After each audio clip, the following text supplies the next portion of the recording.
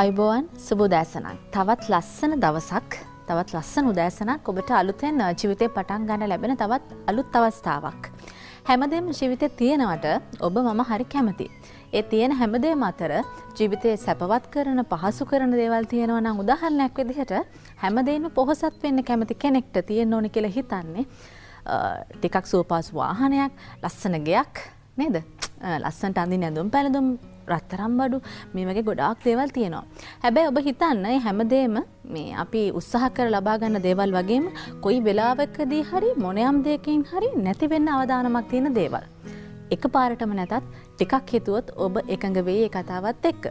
එතනින් එහාට ගිහිල්ලා අපි පොහොසත් වීම ගැන මෙහෙම හිතුවොත් හිතත් එක්ක පොහොසත් වෙන්න පුළුවන් නම් අදහස් එක්ක පොහොසත් වෙන්න පුළුවන් නම් කොච්චර වටිනවද කිසිම වෙලාවක කිසිම විදිහකට නැතිවෙන්න බැරි දෙයක් තමයි අදහස් එක්ක පොහොසත් වුණු සිතක් කියලා කියන්නේ. ඒ වගේ ලස්සන වාසනාවන්ත හිතක් ඔබට හිමි වේවා. ඒ තමයි බදාදා නොගසෙවන අපේ ප්‍රාර්ථනාව. හැබැයි ගැටෙන දේවල් එක්ක විඳින දේවල් එක්ක දරාගෙන හැමදේම කරන්න අමාරුයි. හැබැයි අපි ඒ තැනට හිත හදාගමු. හිත හදාගෙන හිත පුරුදු පුහුණු කරගෙන ඒ දෙවල් ළඟා කරගමු. මනුස්සකම් පිරිහිතකට මොනවද ලබා ගන්න බැරි මොනවද සමාජයට තිල්න කරන්න බැරි. අපි ඒ ගැන හිතමු. ඒ ගැන හිතන අතරවාරේ උදෑසන 11 වෙනකන් බදාද නුගසෙවනත් එක්ක රැඳෙන්න ඔබට අවස්ථාව තියෙනවා. ඉතින් අපේ බදාද නොගසිවන තින තව විශේෂත්වයක් තමයි ඔබේ මනස සුවපත් කරනවා වගේම ඔබ ශාරීරිකව සුවපත් කරන එක. යෝග ව්‍යායාම ගැන අපි ඒ නිසා අද බදාද නොගසෙමන අතරතුර ගිය සතිය වගේම ඔබව දැනුවත් කරන්න සෝදානමින් ඉන්නවා. යෝග කියලා කියන්නේ මනස ඒකාග්‍රතාවයෙන් යුතුව කරන්න ඕනේ ශිල්ප ක්‍රමයක්. අපි ඒ ප්‍රගුණ කරන්න ඔබට උදව් කරනවා. පළමු පැය විශේෂය කියලා ඔබ දන්නවා. ඔබේ මානසික සුවතාවය ගැන කතා කරන්නේ. හැබැයි ඔබ ගැන කියලා කිව්වට අපි කතා කරන්නේ කවුරු ගැනද? දැම්ම කියන්නේ ටිකක් ඉන්න වෙනවා. මෙන්න මේ ගීතය සාවධානව අහන්න පුංචි අදහසක් ගන්න පුළුවන්. අපි කවුරු ගැනද කතා කරන්න කියලා. ඇත්තටම කිව්වොත් වටිනවම කියලා අපි වෙන් කළොත් යම් යම් අය ජීවිතේ මෙන්න මේ අයට වැඩි ඉඩකඩක් අපිත් දෙනවා. ඇත්තටම වටිනවා. ඒ නිසා ඒ වටින අය වෙනුවෙන් අද දැසන පෑවෙන් කරනවා. මේ ගීතය රස විඳින්න අපි අවස්ථාව දෙන්නෙත් ඒ අය වෙනුවෙන්. ඉන්න අපිත් එක්ක. ඒ ගීතේ තිබුණු මේ වචන පේලි දෙකකට ඉතාම මනාපයි. හිත ඔබේ හිත නතර වුණේ කොහෙද දන්නේ නැහැ. හැබැයි මගේ හිත නතර වුණා අර ශිල්ප උගද්දා නොඹ සක්විති වෙනවා කියන පේලි සහ නැගිටින් පුතුනේ බිම්මල් හිනහෙනවා කියන වචන පේලි අතර. මොනතරම් දේවල් තියෙනවද ඒ වචනවලට අරගෙන තියෙන්නේ ආදරණීය ඔබේ ආදරණීය මවකගේ පියකගේ බලාපොරොත්තු අදහස් ඇත්තටම දරුවෝ කියලා කියන්නේ ලෝකයක් වගේ දෙමව්පියන්ට වටිනම දේ දරුවෝ. හැබැයි මේ වටිනම සම්පත කොතැනද ගිලෙහෙන්නේ කියලා ඔබට හිතා ගන්නවත් පුළුවන්ද? ඔබ අහයි ගිලිහෙනවද කියලා දරුවෝ අපින්. ඉතින් ඔය ඕන තරම් අපිට තියෙන උදාහරණ ගන්න දරුවෝ දෙමව්පියෝ අතර දුරස්කම් ඈත්වීම් බිඳීම් එක එක ප්‍රශ්න ඇතිවීන තත්ත්වයෙන්නේ දරුව දෙමව්පියෝ එක්ක දුරස් වුණාම. හැබැයි කවදාවත් දෙමව්පියන්ට දරුවෝ එපා වෙනවා කියලා අහලා නැහැ. සමහර තැන්වල සමහර දේවල් එක්ක දරුවන්ට දෙමව්පියෝ එපා වෙනවද? එහෙම වෙන්න පුළුවන්ද? එහෙම වෙනවා නම් ඒකට පදනම කොහෙන්ද වැටලා තියෙන්නේ? එතනට වග කියන්න ඕනේ කවුද? ඔබ වැරදි කියන්නවත් ඔබ වෙනස් කරන්නවත් අපිට ඕනේ නැහැ. හැබැයි ඔබ එක්ක සාකච්ඡා කරමින් ඔබත් එක්ක මේ ගැන කතා කරමින් ඔබ යම්කිසි මට්ටමකට දැනුවත් කරන්න අපි කැමතියි. ඒ දැනුවත් කිරීම තුළ යම් කිසි දෙයක් වෙනස් කරගන්න ජීවිතය හැකියාව තියෙනවා නම් අන්න එක තමයි අපේ බලාපොරොත්තුව බදාද නුගසෙමනි අපි උත්සාහ කරන්න අන්නේ කාරණාවට. වටිනම දරුවෝ රැකගන්න දරුවන්ට වටිනම දේ නිදහස මානසික සුවතාවය අපි ඒ ගැන කොයි තරම් දුරට හිතනවද. හිතන දේවල් හරිද කියලා කතා කරන්න අපේ බදාද නුගසමන මැදිරියට එන්න කියලා අපි ආරාධනා කළා අපේක්ෂා ගීගනගේ ළමා සහ නවයෝන් විය පිළිබඳ විශේෂඥ මනෝවෛද්‍යවරියට. ඩොක්ටර් අයිබෝවන්. අයිබෝවන්. ඇත්තටම දෙමව්පියන්ට වටිනම දේ දරුවෝ. හැබැයි දරුවෝ දරුවන් හරියට තේරුම් අරන් දින දෙමව්පියෝ දෙමව්පියෝ හිතනවා දරුවන්ට හැමදේම තේරෙන්න ඕනි කියලා. හැබැයි වයසත් එක්ක වැඩි වියටපත් වෙලා ඉන්නේ දෙමව්පියෝ වැඩි හිටියෝ තේරුම් අරන් දින්නේ හරියට. දෙපැත්තම ගැටලු තියෙනවා. දරුවන්ට අවශ්‍ය මොනවද? දරුවෝ දරුවන් දෙමව්පියන්ගෙන් බලාපොරොත්තු වෙන දේවල් මොනවද කියන එක විශේෂයෙන් මේ වර්තමාන කාලයේ දෙමව්පියන්ට අවබෝධයක් තියනවද කියන එක ගැන ගැටලුවක් තියෙනවා. බොහෝ වෙලාවට මේ අද කාලේ දෙමව්පිය බැලුවම දෙමව්පිය බොහෝ වෙලාවට උත්සාහ කරනවා දරුවන්ට සැප සම්පත් ලබා දෙන්න. ඒ වගේම දරුවන්ට ඉහළ අධ්‍යාපනයක් ලබා දෙන්න. දරුවන්ව විනෝද චාරිකාවල එහෙම නැත්නම් දරුවෝ ප්‍රීතිමත් වෙන තැන්වලට දරුවන්ව අරන් යන්න. හැබැයි දරුවන්ගෙන් අහලා බැලුවොත් දරුවන්ට ඇත්තටම අවශ්‍ය ඒ දේමද? දරුවන්ට අවශ්‍ය මේ දෙමව්පියෝ ලබා දෙන භෞතික දේවල්, සෙල්ලම් බඩුව එහෙම නැත්නම් වෙනත් භෞතික දේවල්ද මේ විනෝදචාරිකා අරන් යන එකද වෙනත් රස කැවිලි හදා දෙන එකද එහෙම නැත්නම් දරුව දරුවන්ගේ බලාපොරොත්තු මීට වඩා වෙනස්ද සාමාන්‍යයෙන් අපි දරුවෙක්ගේ වර්ධනය සංවර්ධනය ගැන බැලුවම දරුවෝ දෙමව්පියන්ගෙන් වඩාත් බලාපොරොත්තු වෙන්නේ රැකවරණය ආදරය සහ තමන්ව අවබෝධ කර ගැනීමට හැකියාවක් ලැබෙයි කියන එක. ඉතින් මේ දරුවන්ට අවශ්‍ය රැකවරණය ආදරය සහ දරුවන්ව අවබෝධ කර ගැනීම අද වර්තමාන දෙමව්පියන්ගෙන් ඒ ආකාරයටම සිද්ධ වෙනවද කියන එක පොඩි ගැටලුවක් තියෙනවා. ඩොක්ටර් මේ මට ගැටලුවක් ආවා. ඩොක්ටර්ගෙන් මම ප්‍රශ්නය අහලා උත්තරේ දෙන්න පටන් ගත්ත ගමන් ඩොක්ටර් කියනවා අද කාලේ දෙමව්පියෝ කියලා. මොකක්ද වෙනස? ඉස්සර කාලේ දෙමව්පියෝයි අද කාලේ දෙමව්පියෝ අතර වෙනස තියෙන්නේ මොකක්ද කියන්නකෝ අපි එතනින් ආපහු පටන් ගමු. ඔව්. අතීතයට ගිහිල්ලා බැලුවොත් අතීතයේ අද කාල වර්තමානයේ තරම් අතීතයේ අපිට දේවල් මිලදී ගැනීමේ හැකියාව එහෙම නැත්නම් භෞතික දේවල් ළඟා කර ගැනීමේ හැකියාව තිබුණේ නැහැ. ඒක මම හිතන්නේ ලංකාවට විතරක් උරුම වෙච්ච දෙයක් නෙමෙයි අපි පොදුවේ බැලුවම කාටත් පොදු දෙයක් ඒක.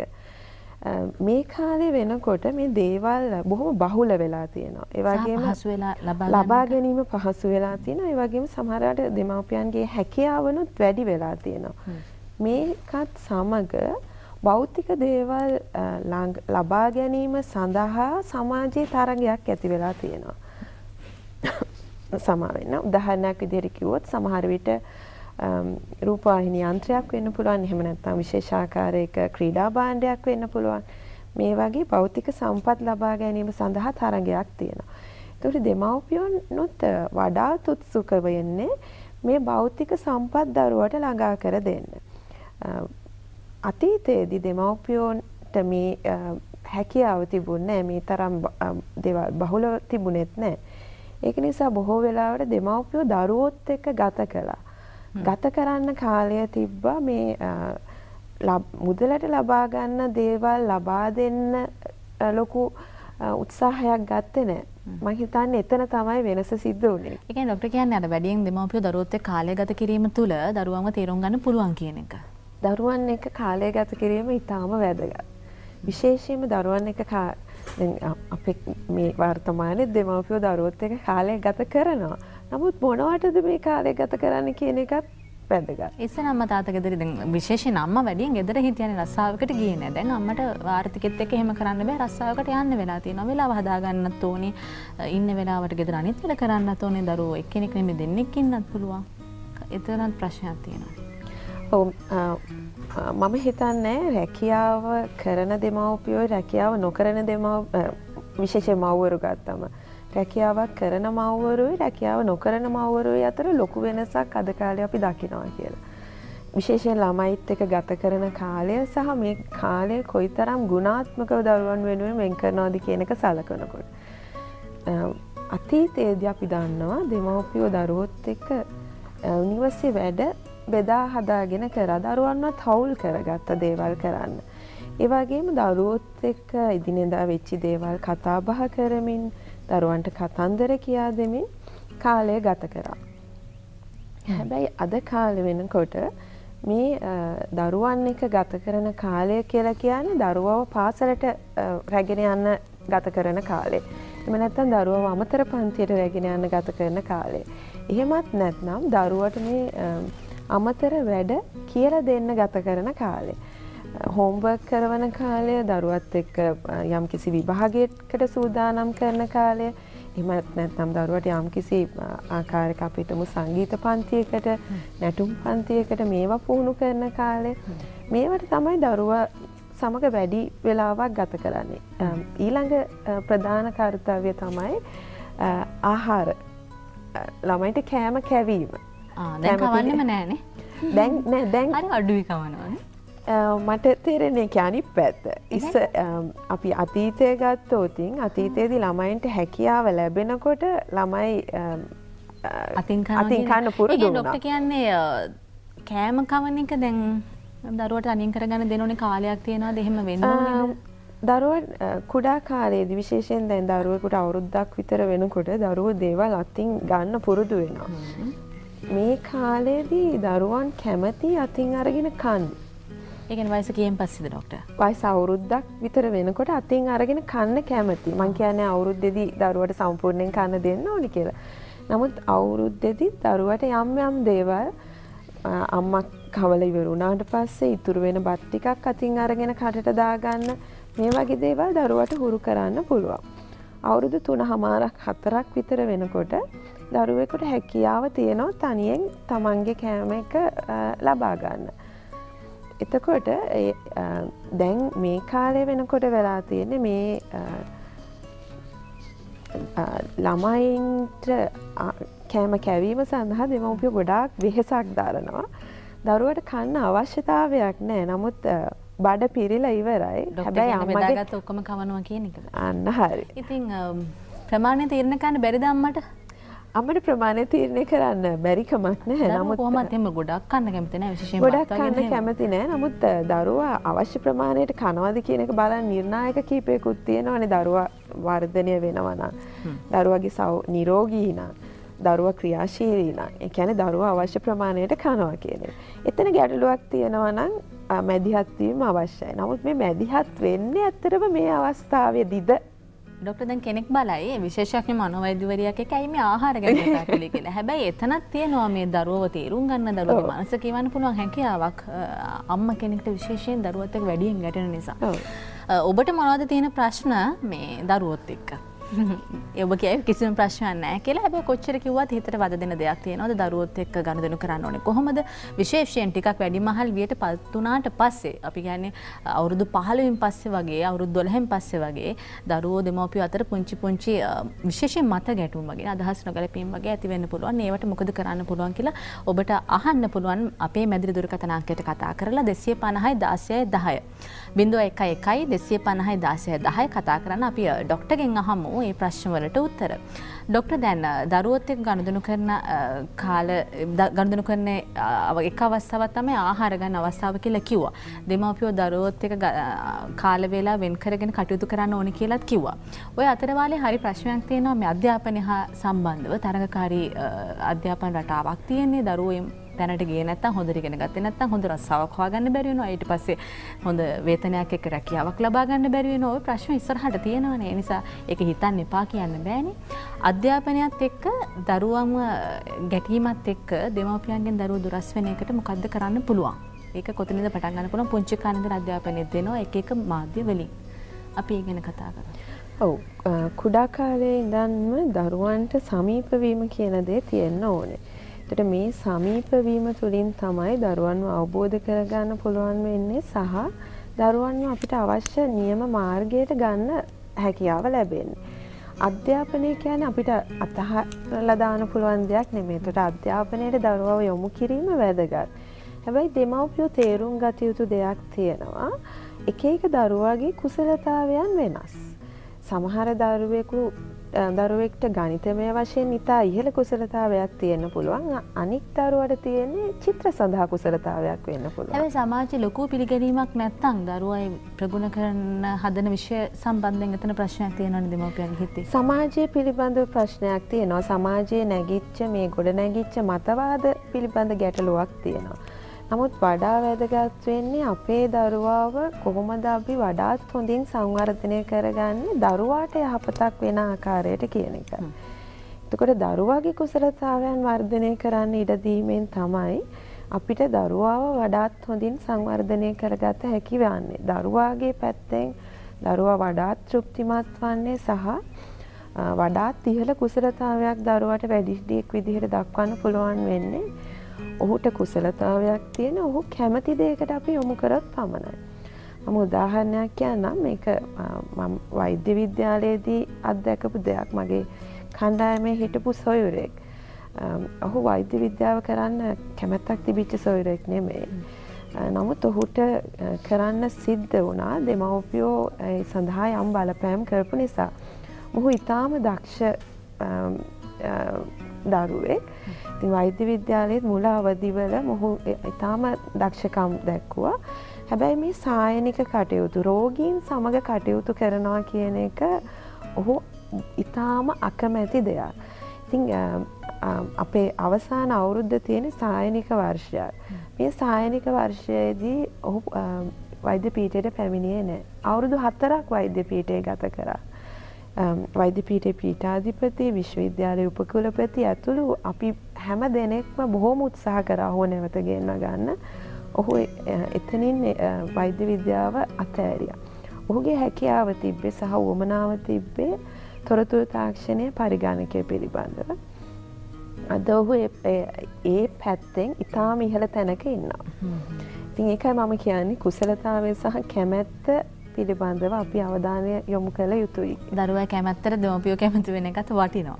දෙමවපියෝන්ගේ කැමැත්ත හදා ගන්න පුළුවන්නම් වටි. අපේ දුරකතන මාර්ගස කෙනෙක් අපිට කතා කරන ඩොක්ට මහනුවරින්දල මේනක කතා කරන්න. අපි බලමු ඔබේ ගැටලුව මොකක්ද කියලා අයිබෝවන් කතා කරන්න මේනක අයිබෝවන් මෝනිමි ඩොක්ට ගුඩ් මෝනිින් ගුඩ් මෝනිින් ඩොක්ට මම මේ අහන්නේ මට පුතෙක්කින්න අවුරුදු තුනක. එතකොට මෙයාලා තාම මව්කිරි බොනවා ඉතින් සමහර වෛද්‍යවරු එහෙම කියන්නේ මෙයාගේ මව්කිරි දැන් දීලා වැඩක් නැහැ ඒක නවත්තන්න කියලා. නමුත් තවත් වෛද්‍යවරයෙක්ගෙන් මට දැනගන්න ලැබුණා මෙයාලා පිරිමි දරුවෙක් නිසා මෙයාලගේ ආසාව ඒ කාලේ වෙනකම් මව්කිරි බොන්න ඕනේ මවගෙන් ඒ ලැබෙන උණුසුම ලැබෙන්න ඕනේ නැත්තම් මෙයාලගේ ඒක මනෝ මනසට බලපානවා කියලා. එතකොට මෙයා මේ මව්කිරි තාම බොන එක දරුවාගේ මුරණ්ඩුකම දඩබ්බරකම ඇතිවෙන්න හේතුවක්ද? මේක එයාම ඉබේම නවත්තනකං ඉන්න ඕනෙද? තැනි දරුවට අවුරුදු තුනයි නං ක්‍රමයෙන් මේකෙන් අයින් කිරීම සුදුසුයි කියලා. දැන් ඔබතුම ඇහුවේ මව්කිරි ලබා ගැනීම නිසා දරුවා මුරණ්ඩු වෙනවද ඒක මානසික බලපානවද කියන එක. එහෙම මව්කිරි ලබා ගැනීම නිසා දරුවා මුරණ්ඩු වෙන්නේ නැහැ. නමුත් අපි හිතමු දැන් ඔබතුමිය ප්‍රතික්ෂේප කරනවා නම් මව්කිරි දෙන්න. ඒ අවස්ථාවේදී දරුවා මේ සඳහා මව්කිරි ලබා ගැනීම සඳහා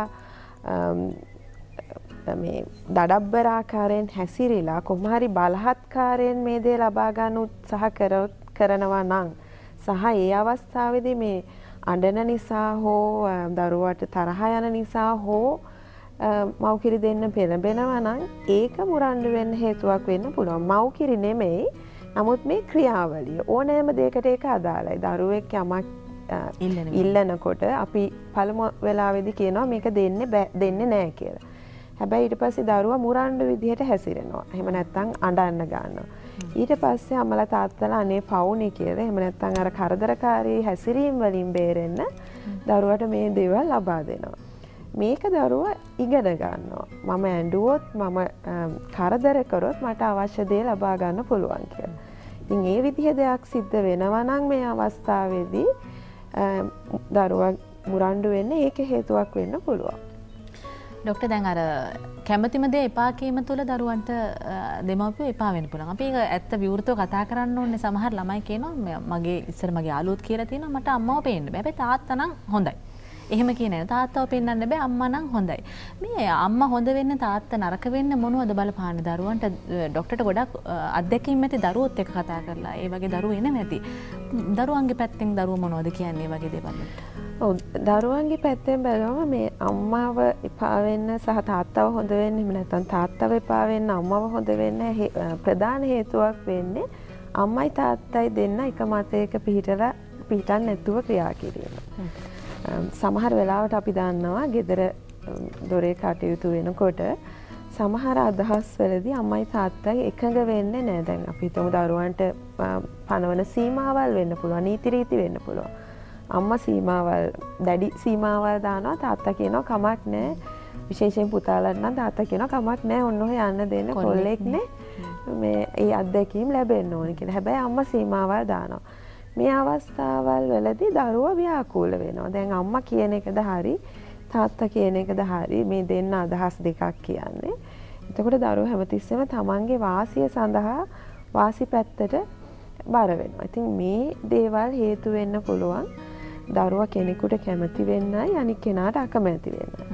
අනික් දේ තමයි දෙමව්පියෝ කරන විශාල වැරැද්දක් තමන්ගේ සහකාරයාව හෝ සහකාරයව කැනෙ දරුවගේ අම්මාව හෝ තාත්තව දරුවා ඉස්සරහ විවේචනය කරන එක. ඔයාගේ අම්ම මෙහෙමයි ඔයාගේ තාත්තා මෙහෙමයි කියලා දරුවා ඉදිරියේ විවේචනය කරන එක. දරුවෙක් තුළ මව හෝ පියාගේ මොන වැරැද්දක් තිබුණත් දරුවෙක් තුළ ඔහු ගැන හොඳ ප්‍රතිරූපයක් තියෙන්න ඕනි මොකද දරුවා තමන්ව දකින්නේ තමන්ගේ අම්ම තාත්තා තුළින්. ඉතින් ගෙදරම ඉන්න අම්මා හෝ තාත්තා අනික් කෙනාගේ ප්‍රතිරූපය බිඳ හෙරනවා නං ඒ වෙලා විදි සමහර වෙලාවට දරුවට දෙන්නම එපා වෙනවා. තාත්තව එපා වෙන අම්ම තාත්තා විවේචනය කරන නිසා තාත්තා ගැන නරක කියන නිසා අම්මවත් එපා වෙන මොකද අම්ම නරක කතා කරන නිසා. තාත්තා නරකයි කියල කියන නිසා තාත්තාව එපා වෙන අම්ම නරක කතා කරන නිසා අම්මවත් එපා වෙනවා. මේ දෙමව්පියෝ සමහර බුද්ධිමත් ළමයිට එහෙම වෙන්න පුළුවන් අම්ම මෙහෙම කියනවන තාත්තා ගැන කියලා. මෙන්න මේ හේතු නිසා සමහර වෙලාවට දරුවන්ට මව්පිය දෙපාර්ශවෙන් එක පාර්ශවයක් හෝ දෙපාර්ශවය ගැනම අකමැත්තක් තරහක් ඇතිවෙන්න පුළුවන්. ඩොක්ට අපිට අමාලි කතා කරන අපි වනම ගැටලෝ මොකක්ද කියලා. අමාලි අයිබෝවන්. ඇවන් මට දැනගන්න ඕන ඩොක්ටර් මගේ අක්කගේ දුව ඉන්නවා දැන් මං ගාව. එයාගේ අක්කා ගාව තමයි කලින් හිටියේ. එයාට අර අවුරුදු 14යි වයස මේ පොඩි සම්බන්ධකමක් තියලා ඒක මේව කරන්න උනටත් එක්ක කියන්නේ නතර කරන්නෙම නෑ ඉගෙන ගන්නවා හොඳටම ඉගෙන ගත්ත ළමේ. ඒව නවත්තන්න නැති හින්දා කරදර හින්දා මං ගාවට දැන් එක්කන් ආවා. ඊට පස්සේ දැන් මම එයා අම්මත් එක ටිකක් මේ තරහින් වගේ තමයි ඉන්නේ අම්මා ආදරේ නෑ මට කියලා තාත්තට ටිකක් එකතු වැඩි. කොහොම මට මට ආදරේ මං කියන දේ අහනවා එහෙම කියලා දැන් මාත් එක්ක හොඳට ඉන්නවා. මට දැනගන්න ඕනේ දැන් එයා ඉගෙන ගන්න වැඩේ කරන්නම් කියලා පොරොන්දු වෙලා තමයි ඉන්නේ. පවුලේ තව සහෝදර සහෝදරියෝ ඉන්නවද එයාට? මල්ලි කෙනෙක් ඉන්නවා පොඩි. එයාට මේ වසරේ මේ අවුරුදු එක වසරේ දැන් එයා 10 වසරේ. හරි අහමු. ඒ කියන්නේ අම්මයි තාත්තයි නිතර ගෙදරක් නෑ ඒගොල්ලන්ගේ. හරි. මේ වයස අවුරුදු දාහතර කියන්නේ නවයෝන් අවදියේ දෙවන අවදිය. මේ අවදියේදී දෙමව්පියන් එක්ක ගැටුම් ඇතිවෙන්න පුළුවන් සහ දෙමව්පියන්ගෙන් ඇත්වීම් බොහොම බහුලව සිද්ධ වෙන කාලයක්. විශේෂ ගැටලුවක් නැති වුණත් දරුවුන් මේ වයස දරුවන් දෙමව්පියන්ගෙන් යම් තරමකට ඇත්වීමක් පෙන්වනවා. මේක සාමාන්‍ය ස්වභාවයක් ඇත්තටම. මේ දරුව තමන්ගේ ස්වාධීනත්වය ලබා ගැනීමට තමයි දෙමව්පියන්ගෙන් යම් ඈත්වීමක් පෙන්වන්නේ. ඉතින් මේ දැරිය ගැන කතා කරනකොට මේ ලොකු පුංචි අම්මා පුංචි අම්මා කියනවා දරුවගේ සම්බන්ධතාවයක් ගැන තමයි මේ පවුලෙන් වෙන් කරලා ගෙනලා තිබ්බේ කියලා. ඉතින් මේ වයසේ දරුවන්ගේ ප්‍රේම සම්බන්ධතාවයන් තියෙනවා ප්‍රේම සම්බන්ධතාවයන් නැති වෙනවා. නමුත් බොහෝ වෙලාවට මේ ඇතිවෙන ප්‍රේම සම්බන්ධතාවයන් සාර්ථක සම්බන්ධතාවයන් වෙන්නේ නැහැ. එකට හේතුව තමයි මේ ඒ ඔය වයසේදී දරුවන්ට දෙයක් තෝරා ගැනීමේ හැකියාව එහෙම නැත්නම් සමීප සම්බන්ධතාවයක් ඇති කර ගැනීමේ හැකියාව මනෝවිද්‍යාත්මකව බොහොම අල්පයි. තමන් තමන්වත් කවුද කියලා තේරුම් අරන් නැති අවධියක වෙන කෙනෙක් සමග සම්බන්ධ වීමේ හැකියාව. ගැන හොඳ සම්බන්ධයක් ගොඩනගා ගැනීමේ හැකියාව අල්ප. ඩොක්ටර් දැන් ඒක අපිට තේරුණාට දරුවට ඒක තේරෙන්නේ නැහනේ. දරුවා ඒක හොඳයි කියලා හිතලා කරන්නේ. එක එක හේතු මත දරුවෙක් ඒ වගේ තත්යකට එන්න පුළුවන්. මේ දරුවව ගෙදරින් ඈත් කරලා තියෙන්නේ. දැන් එතකොට එතන ඊට පස්සේ ඇති වෙන තත්ත්වය මොකක්ද? මේ වගේ දෙයකදී කොහොමද ගනුදෙනු කරන්න ඕනේ? ඔව් එතෙන්ට තමයි මම එන්න හැදුවේ. දැන් දරුවා ඔබ කිව්වා වගේම දරුවට මේක ගැන අවබෝධයක් නැහැ. එතකොට දෙමව්පියෝ මේක බොහොම උපක්‍රමශීලී වෙන්න ඕනේ. මේ වයසි දරුව ක්‍රියා කරන්නේ හැඟීමෙන් ආවේගවලින් ක්‍රියා කරන්න. එතකොට මේ සම්බන්ධතාවය නැති කරගන්නෙත් ආවේගවලට මුල් තැන දීලා. බොහොම උපක්‍රමශීලීව දරුවව තමන්ට සමීප කරගෙන මේ ප්‍රේම සම්බන්ධතාවය ඇති කරගන්න කෙනාගෙන් ඈත් කිරීම තමයි කරන්න ඕනේ. එක එක්කෙනාගෙන් එක එක්කෙනාට වෙනස් වෙන්න පුළුවන් කොහොමද කරන්න කියලා අර සරල සූත්‍රයක් නෑ මෙන්න මෙහෙමයි කරන්න පුළුවන් කියලා දරුවගෙන් දරුවට පවුලෙන් පවුලට වෙනස් වෙන්න පුළුවන්.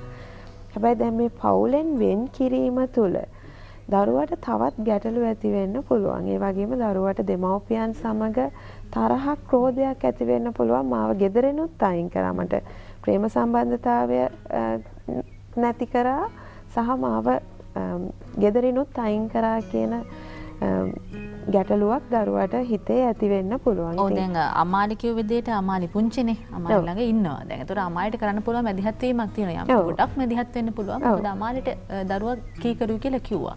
දැන් අම්මාලිට මොකද්ද කරන්න පුළුවන්?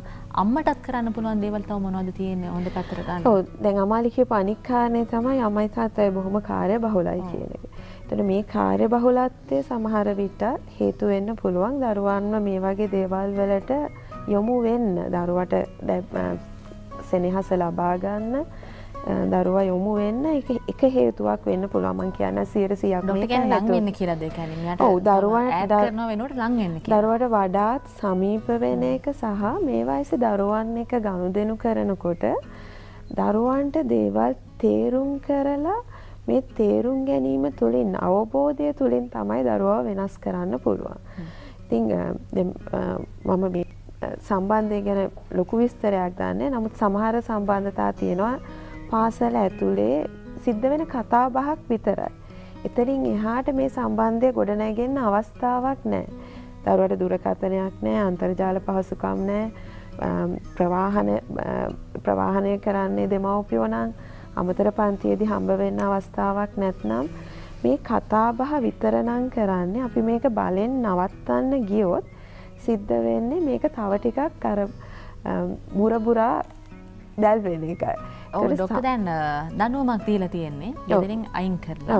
හොඳම දේ ආපහු හැබැයි කැමැත්තක් දරුවටත් කැමැත්තක් තියෙනවා. සමහර දරුවෝ ඉන්නවා අපි ඇත්තම කිව්වොත් අම්මලගෙන් පරිගන්න. මම මේක කරනවාමයි කියලා ඉන්න. දැන් ඒ වගේ මානසික මට්ටමක ඉන්නවද දන්නේ. එයා හිතන දේවල් දැනගන්නේ කොහොමද? එයාත් එක්ක මේ කතා කරන්නේ කොහොමද? එයාට ලං වෙන්නේ කොහොමද? එයා සමහරකට මේක ගැන අහනකොට අකමැති වෙන්නත් පුළුවන්. දැන් ගලව ගන්න කලින් එයාට ලං වෙලා ඒක දැනගන්නේ කොහොමද?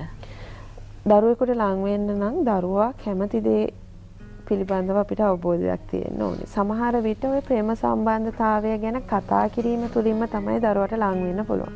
විරෝධය පාන්න නැතුව ඒ පිළිබඳව මේ සම්බන්ධය කාත් එක්කද කියන එක සහ ඇයි මේ සම්බන්ධයක් ඇති කරගන්න හේතු වුණේ දැන් පුංචි අම්මට සමීපයි නම් අම්මට වඩා ඒක පුංචි අම්මට කරන්න පුළුවන් වෙන්නේ. ඒ කියන්නේ හේතු හොයාගන්න කියලාද? ඔව්.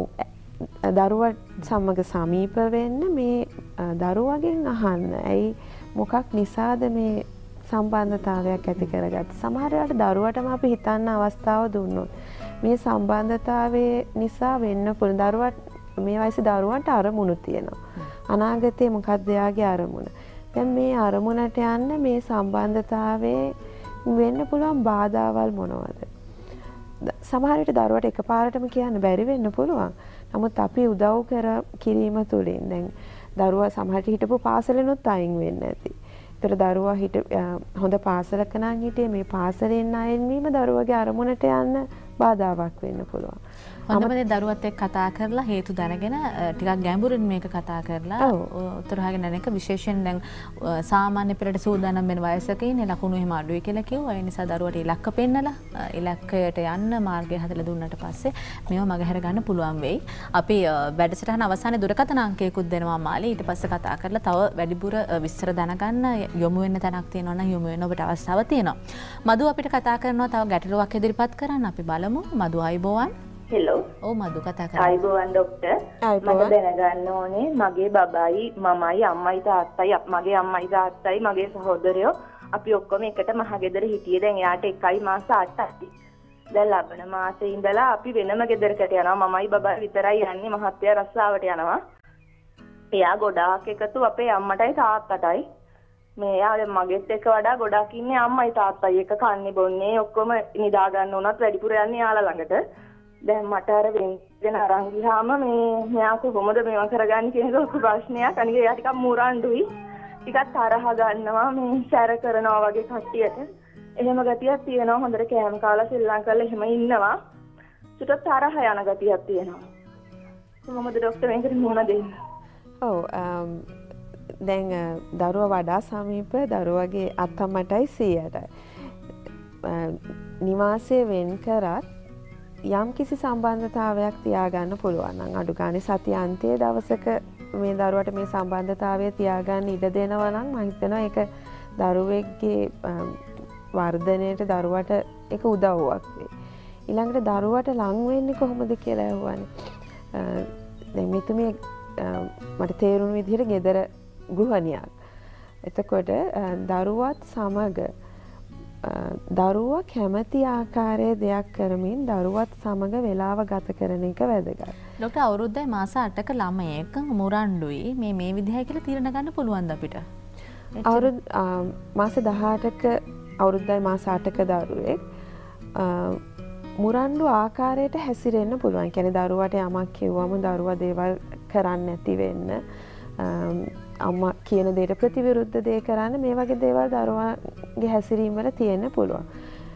නමුත් දරුවා මුරණ්ඩු වුණේ ඇයි කියන එක හොයාගන්න එකයි වැදගත් වෙන්නේ. බොහෝ වෙලාවට දරුවන්ගේ මේ මුරණ්ඩු හැසිරීම වලට හේතු වෙන්නේ දරුවන්ට වඩාත් අවධානය ලැබෙන්නේ මේ මුරණ්ඩු හැසිරීම් නිසා. අපි දරුවෙක් හොඳින් සෙල්ල කරමින් ඉන්න වෙලාවල් වල දෙමව්පිය ගොඩක් වෙලා තමන්ගේ වැඩක් කරගන්න. දරුවා සෙල්ලම් බඩු ටිකක් එක්ක ඉන්නවා මම මගේ වැඩේ මේ වෙලාවේ කරගන්න ඕනි කියන මතේ තමයි දෙමව්පියෝ ඉන්නේ. හැබැයි දරුවා අඬන්න ගත්තොත් එහෙම නැත්නම් දරුවා කෑ ගහන්න ගත්තොත් කෙනෙකුට කරදර කරන්න ගත්තොත් ඒ වෙලාවේදී වැඩිහිටියෝ මැදිහත් වෙනවා. ඕනෑම කෙනෙකුට අවධානය ලැබෙන හැසිරීම තමයි වඩාත් වැඩි වෙන්නේ. යම් හැසිරීමකට අවධානය ලැබුණොත් ඒ හැසිරීම වඩාත් වැඩි වෙනවා.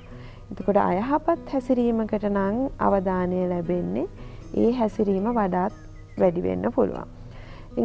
මේ දරුවගෙත් අවුරුද්දයි මාස 10 මාස 8යි කියලා කියන්නේ මේ ලොකු දැන් විරුද්ධ වෙනවා මුරණ්ඩු වෙනවා කියන අවබෝධය මේ දරුවට නැහැ. නමුත් මේ දරුවට අත්දැකීමෙන් අත්දැකීම් ලැබිලා ඇති මම මෙහෙම හැසිරුණාම මට අවධානය ලැබෙනවා සහ මට අවශ්‍ය දේවල් ටික මට කරගන්න පුළුවන් කියලා. ඒක නිසා තමයි ඒ ආකාරයට හැසිරෙන්නේ. සහ මේ ડોක්ටර් කොහොමත් කොතනත් අම්මා තාත්තට වැඩිය ආච්චි සීයට දරුවෝ ළඟයි. සමහර වෙලාවට කලින් අර අමාලිකියෝ වගේ පුංචිට ළඟයි. දැන් එහෙම තියෙනවා. ඒක හේතුව මොකද දැන් තරුණ වයසේ අම්මල තාත්තලා එක්ක දරුවෝ හැසිරෙන විදිහයි ටිකක් වැඩිමහල් වියක ඉන්න අම්ම කෙනෙක් තාත්තා කෙනෙක් එක්ක දරුවෝ හැසිරෙන විදිහයි අතර වෙනසක් අපි දකිනවා. දැන් මේ වයස එක්කද දරුවෝ එක්ක මේ ප්‍රශ්න ඇති වෙන්නේ මේ ගැටලුව ඇති වෙන්නේ? කෙනෙක් මෝරා යාම තුළ දරුවන්ව දකින විදිහ දරුවන්ව හසුරවන විදිහේ වෙනස්කම් ඇති වෙන්න පුළුවන්. දැන් අත්තම සිය කියන කාරණය ගත්තෝතින් බොහෝ වෙලාවට අත්තම්මල සියල බලන්නේ දරුවන්ව සතුටින් තියන්න. දරුවන් ඉල්ලන ඕනෑම දෙයක් දීලා දරුවන්ට ආදරය දීලා මොකද බොහෝ වෙලාවට ඒගොල්ල විශ්‍රාමිකයි. දරුවන් වෙනුවෙන් ගත කරන්න වෙලාව තියෙනවා. දරුවන්ට දේවල් ලබා දීමේ හැකියාව තියෙනවා. ඉතින් ඒක නිසා බොහෝ වෙලාවට අර දරුවන්ට අවශ්‍ය වුණත් නැති වුණත් හොඳ වුණත් නරක වුණත් දරුවෝ දරුවන්ම පිනවන්න අත්තමල සියලා බොහෝ වෙලාවට උත්සාහ කරනවා. මේක සමහර වෙලාවට දරුවන්ට නරක විදිහට බලපාන්නත් පුළුවන්. මොකද අම්මගෙන් තාත්තගෙන් නොලැබෙන දේ දරුවෝ උත්සාහ කරනවා සමහර වෙලාවට ආච්චිගෙන් සීයාගෙන් ගන්න. ඉතින් මේ දැන් ආච්චි සීයයි කියලා කියන්නේ මේ ගෙදර ඉන්න අම්මගේ හරි තාත්තගේ හරි අම්මයි තාත්තයිනේ. සමහර වෙලාවට දරුවව හසුරවන්න ගන්න යම් යම් දේවල් ක්‍රියාමාර්ගවලදී අපි හිතමු අපි යම් දෙයක් දරුවට දෙන එක සීමා කරනවා කියලා. මේ වෙලාවේදී සමහරවට අත්තම්ම සීයා මැදිහත් වෙලා කියන්න පුළුවන්. ඇයි දරුවට මේක දෙන්නේ නැත්තේ? මේ ළමයට මේක ගෙන අම්මට තාත්තට හොරෙන් දෙන්නත් පුළුවන් අම්මට තාත්තට හොරෙන් දෙන්නත් පුළුවන් සමහරට අම්ම තාත්ත කියලා තියෙනවා මේවා ගෙනත් දෙන්න එපා කියලා. හරියට මැදිහත් වෙනවානේ දඬුවම් කරන වෙලාවට එහෙම. දඬුවම් කරන වෙලාවට සමහරවට අම්මට තාත් දැන් එයාගේ දරුවනේ මේ අම්මයි තාත්තයි කියන්නේ. ඒක නිසා මේ දරුවන්ට සමහර වෙලාවට බැනවදින අවස්ථා තියෙනවා. මේ මුණුපුරු මිනිපිරියෝ ඉස්සරහයි මේ ළමයට මෙහෙම කරන්න ඇයි මෙහෙම සැරවැර කරන්න කියලා බැනවදින අවස්ථා තියෙනවා. ඉතින් මේක තුල අතර අම්මගේ තාත්තගේ අතර වෙනස වගේම තමයි ගෙදර ඉන්න අත්තම්ම සීයා මේ විදිහට අම්මගේ තාත්තගේ පාලනයට මැදිහත් වෙන්න ගියාමත් තායිමත් දරුවට ව්‍යාකූලත්වයක් ඇති වෙනවා. ඩොක්ටර් දැන් අර හොඳම දේ කිව්වේ ආච්චි සීයාව ඈඩ් කරන්න නැතුව ටික ටික ලං කරලා තියාගන්න සහ ආච්චි සීයාගේ තියෙන විශේෂත්වය මොකක්ද කියලා අම්මට තාත්තට තේරුම් ගන්න පුළුවන් නම් දරුවට ඊටත් වඩා ලං වෙන්න පුළුවන් වෙයි. ලසන්ති අපිට කතා කරනවා ගැටලුවක් ඉදිරියට ලසන්ත. අපිට කතා කරනවා ගැටලුවක් යොමු කරන්න කතා කරන්න. Hello doctor hello good මෝනිින් good මෝනිින් doctor මට අවුරුදු දෙක හමාර්ග පුතෙක් ඉන්නවා එයා තාම හරියට මේ වචන කතා කරන්න නැහැ අර එයා හදාගත්ත මේ එයාම මේ වචන කීපයක් කියන්නේ මේ සබ්ද වගේක් පිටගන්න විතරයි අපි යාගේ අර මේ කන ගැන ටෙස්ට් එකකුත් කරා එකත් නෝමල් කිව්වා ඒ වගේ මෙයා සමහර දෙනකොට හරියට මේ මූණ දෙන්න හැ කතා කරන්න බිම බලාගෙන වගේ ඉන්නවා.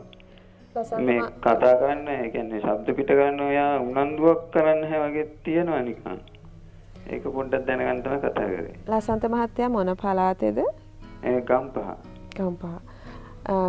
දරුවා තේරුමක් සහිත වචන මුකුත්ම කතා කරන්නේ නැද්ද ලසන්ත මහත්තයා? මේ ડોක්ටර් ඉස්සෙල්ලා මේ අම්මගේ එක කී හිටියා දැන්නත් ඉන්ටර්නෙට් තාත්ත තාත්ත කියලා කියනවා. ඒ අරුණාම යා නිකන් ශබ්ද ටිකක් තමයි පිට කරන්නේ. මේ දරුවව හැකිතරම් ඉක්මනින් ළමා මනෝවෛද්‍ය සායනයකට යොමු කරනවා නම් හොඳයි. කතනේ තියෙන ප්‍රමාදයන්ට අමතරව මේ දරුවගේ තවත් ලක්ෂණ කිහිපයක් ගැන කිව්වානේ. ඉතින් මේ දරුවගේ සංවර්ධනයේ දුබලතාවයක් වර්ධනය පසුබෑමක් තියෙනවා කියලා පේනවා. මේකට මැදිහත්වීම් කරන්න අවශ්‍යයි. ඒක නිසා ඉක්මනින්ම රාගම තමයි ඔබතුමාට ළඟම සායනය තියෙන්නේ රාගම ශික්ෂණ රෝහලේ තියෙන ළමා මනෝවෛද්‍ය සායනයට දරුවව යොමු කරන්න. ඩොක්ටර් කියන්නේ අපි මෙහෙම උපදෙස් දීලා මදි කියන එක විශේෂයෙන් කව සමහර අයට මුහුණ දෙන්න. ඒ කියන්නේ සබකෝලයක් වගේ මොකක් හරි හැඟීමක් දරුවා තුළ ඇති. දරුවා බලලා ඕනේ කියන්න. ඔව්. මොකද්ද දරුවට තියෙන තත්වය කියලා කියන්න හරියටම දරුවව බලන්න ඕනේ.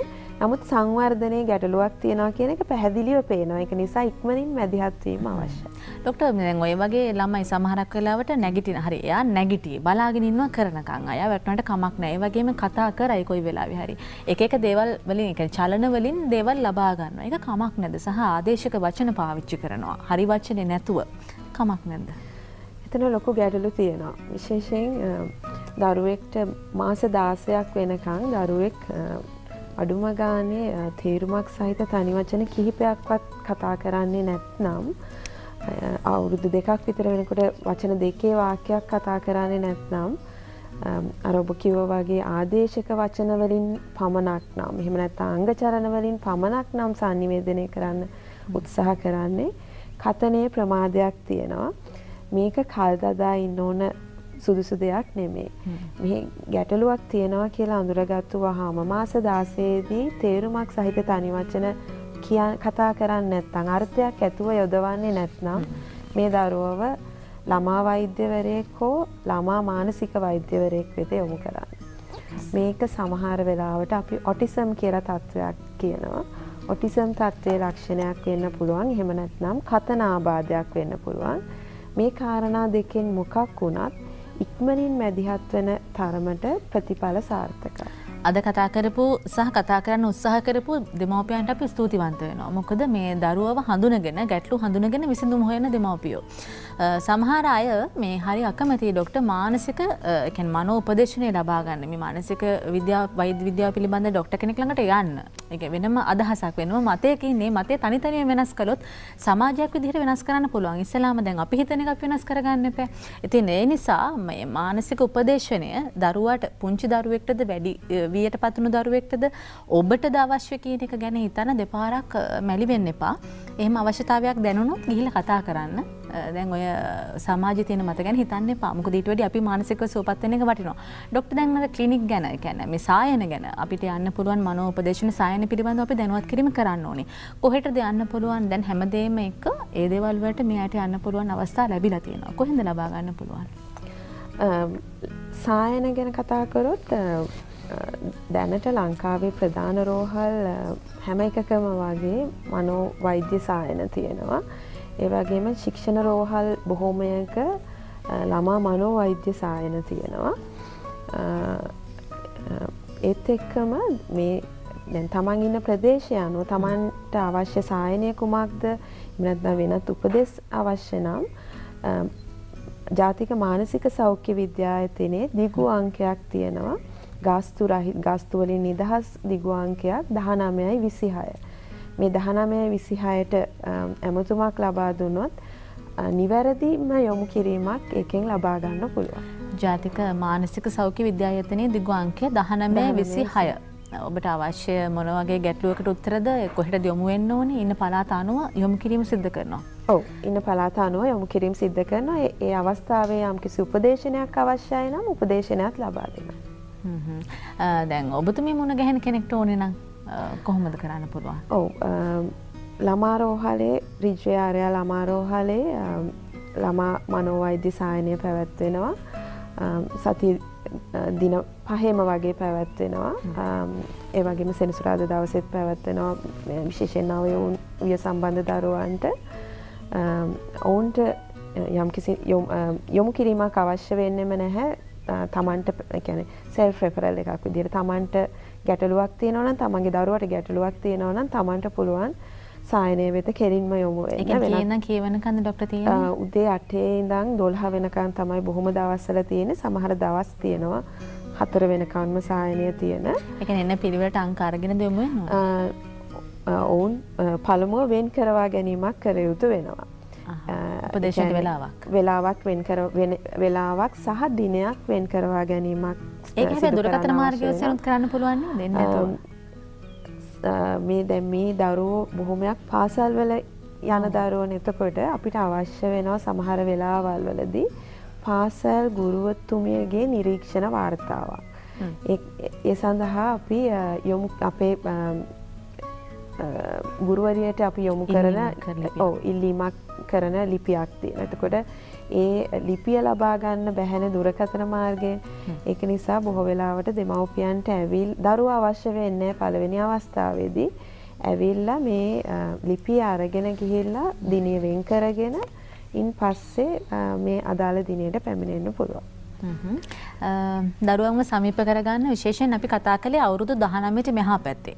19ට එහා නෙමේ 19ට මෙහා පැත්තේ ඉන්න දරුවෝ ගැන දරුවොත් එක්ක එකට ඉන්න ඕනේ දෙමව්පියෝ වැඩිහිටියෝ ආච්චිසියා නැත්නම් මාමා විශේෂයෙන් අම්මගේ යාළුවෝ තාත්තගේ යාළුවෝ මේ හැමෝම ඔය අතර ඉන්න පුළුවන්. ඒ නිසා සමාජ වගකීමක් ඔබට තියෙනවා. ඔබේ දරුවා ගැන විතරක් නෙමේ ඔබ දන්න කියන කෙනෙක්ගේ දරුවා ගැනත් කතා කළා කියලා ඔබ හිතන්නේ. සමහර කෙනෙක් හිතන්න පුළුවන් අපිට දරුවෝ නැහැ. ඒ නිසා අපිට දැන් මොක අදාළ වෙන්නේ නැහැ කියලා. නමුත් එහෙම නැහැ. කියන ඕනෑම කාරණාවක් ජීවිතයක ගලප ගන්න ඔබට හැකියාව තියෙනවා.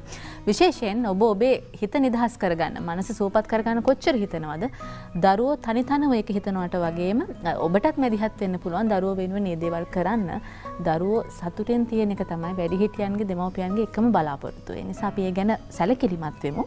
බදාදා රුග සෙවනේ අපි ඒ වෙනුවෙන් තමයි අද උත්සාහවන්ත වුණේ පළමු පැය තුල. මේ ගැන කතා කරන්න අපි මැදිරියට ගෙන්න ගත්තේ අපේක්ෂා හේවාගේ ගැන ළමා සහ නව යෞවන විය පිළිබඳ විශේෂඥ මනෝවෛද්‍යතුමිය ඩොක්ටර් බොහොම ස්තුතියි අදාවට අපි ආය දවසක මුණ ගැහෙනකම් ඔබතුමීට සමුදෙනවා අයිබෝවන්.